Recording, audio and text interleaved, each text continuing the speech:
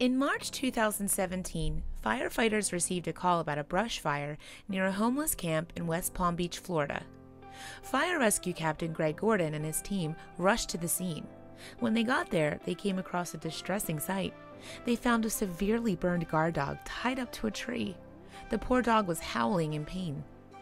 Firefighter Marcos Orozca cut the two year old dog's chain and rushed him over to Jupiter Pet Emergency and Specialty Care Center. The firefighters nicknamed the pup Smokey. The little guy was burned up pretty good, Gordon told the Palm Beach Post. Even when we grabbed him, he was very distressed. I was concerned whether he would live. The vet, Dr. Latimer, rushed the pup into treatment. He found that the most severe burns were on the back of the dog's torso and his hind legs. Dr. Latimer told the firefighters that the dog would need tons of treatment and care, but he was going to be okay. During the several weeks that he was with us, Smokey received multiple blood transfusions. Thank you, Shadow. Daily baths and bandage wrap changes. In addition, he received treatments in the hyperbaric chamber to help with reduction of swelling as well as pain from multiple burns. When Smokey first arrived at JPESC, the poor pup was nervous and fearful around everyone. But as time went on, the pup got more and more comfortable with the vets and nurses. The firefighters who rescued him also came to visit, and Captain Gordon decided to foster the pup while he was recovering from his injuries.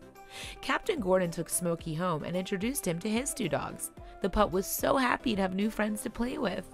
About a week after Captain Gordon brought Smokey home, he took him to the clinic for a checkup. As soon as Dr. Latimer walked into the room, Smokey jumped up and gave him a hug. The dog clearly knew that Dr. Latimer had saved his life, and he wanted to thank him. As you could see, he's so thankful for all the care, love, and treatment that he received during his time with us.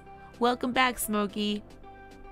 Smokey also got more good news during his checkup.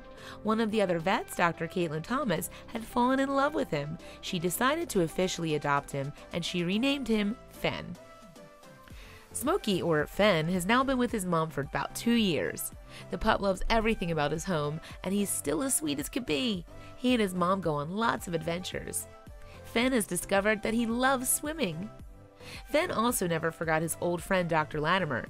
In 2018, Fen was the mascot for the annual Peggy Adams Walk for the Animals. Dr. Latimer was also there, and as soon as Fen saw him, he ran towards him and jumped into his arms.